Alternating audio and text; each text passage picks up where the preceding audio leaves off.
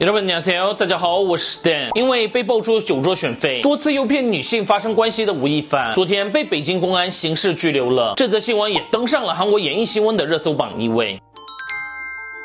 昨天，北京朝阳警察局表示，针对网络举报的吴某凡多次诱骗年轻女性发生关系等有关情况，经警方调查，吴某凡（男，三十岁，加拿大籍），因涉嫌。罪目前已被朝阳公安分局依法刑事拘留，案件侦办工作正在进一步开展。官方证实了吴亦凡已被刑事拘留。而爆料吴亦凡事件的杜美珠，昨天早上也上传了自己的照片后留言：心若向阳，无畏悲伤，微笑向暖，年华未央。然后在韩国报道的新闻中也写的，在中国被公安刑事拘留的嫌疑人洗脱嫌疑的可能性非常小，所以之后吴亦凡已。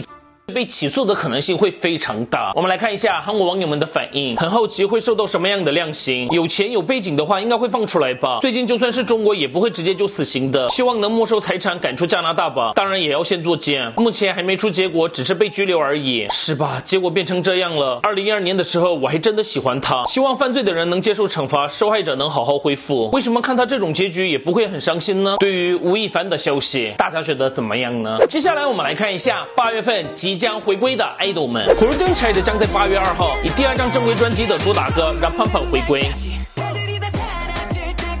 清凉暖坛 Astro 将在八月二号以第八张迷你专辑的新曲《After Midnight》时隔四个月的超快速回归。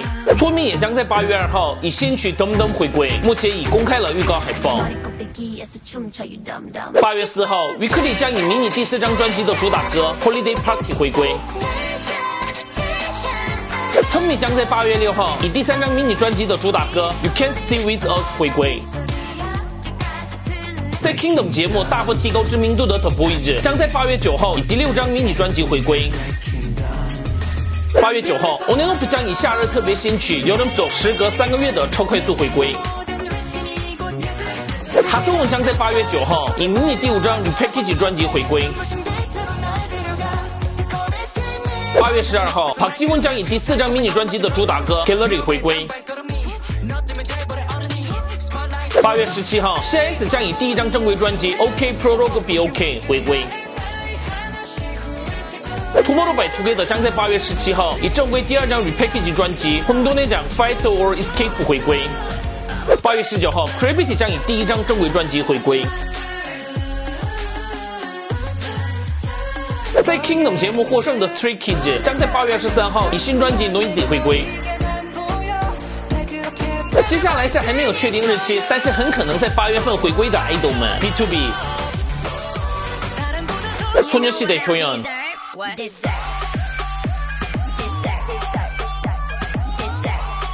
Black Swan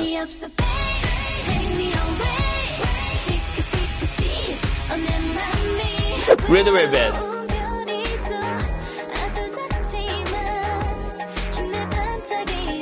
Play Pink 这个。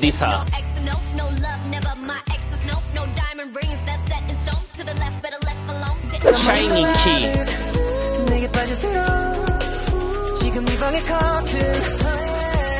Shane。